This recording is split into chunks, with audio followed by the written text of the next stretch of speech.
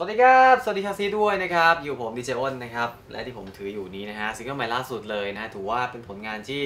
อาจจะแปลกหูแปลกตานะครับ เดี๋ยวยังไงไปคุยกับเจ้าของซิงเกิลเลยดีกว่านะฮะพี่ป๊อปปองกูลนั่นเองนะครับผม สวัสดีครับ สวัสดีครับอ้นสวัสดีครับ ชาวซี้ดครับ ครับปอบอยากครับ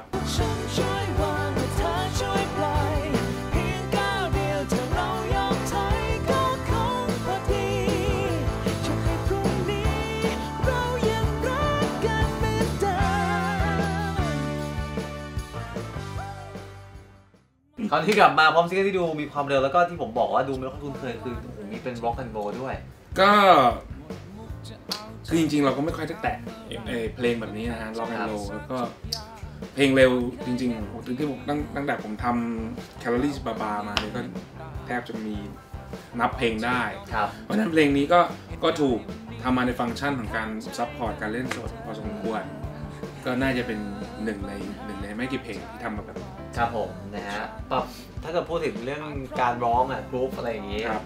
ผมต้องบอกว่าพี่ป๊อปนี่ถนัดอยู่แล้ว ผมไม่ได้ถนัดนะฮะแต่อย่างน้อยก็ groove groove groove ดีอะ groove แน่นอะที่ผมฟังมาตลอดเลยก็คือด้วยความที่จืดเนี่ยอ่าพี่บอลคือ rock and roll เนี่ยมันทางพี่บอลอพาร์ตเมนต์อยู่แล้ว แล้วเขาเป็นโปรดิวเซอร์เพราะฉะนั้นเนี่ยเขาก็จะเขาก็จะ เขาก็จะบอกเราได้ว่าตรงนี้มันต้องแบบนี้แบบนี้อะไรเงี้ยครับคือเราเองเราไม่ได้ถนัดล็อกแอนโลหรอกอืมแต่ว่าเราทำงานกับเขาเขาก็จะคอยบอกคอยคอยตบให้มันเข้ารูปเข้ารอยอย่างเงี้ยแล้วก็น้องกระตอมก็เป็นคนเขียนเพลงนี้ครับนะครับก็เราก็จะทำความรู้จักกับเพลงมาพอสมควรแหละอืมนะฮะแล้วก็ได้ทำงานกับน้องอะตอมแล้วก็พี่บอลอีกแล้วใช่นะฮะต่อยอดกันเลยนะใช่ฮะครับครั้งนี้แล้วเพลงนี้ครับที่ชื่อว่าจืดนี้ความหมายจริงๆมันหมายความว่าไงครับพี่ มันน่าจะเป็น มันเป็นเรื่องปกติของความรัก เวลาเราเวลาเราจะมีความรักเนี่ยมันจะต้องถึงจุดจุดหนึ่งที่เป็นจุด จุดที่มันจืดลงอะอืมจุดที่ความรักมัน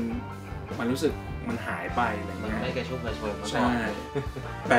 อันนี้คือเรื่องปกติของความรัก ครับ แต่เรามองว่าเรื่องที่มันไม่ปกติคือ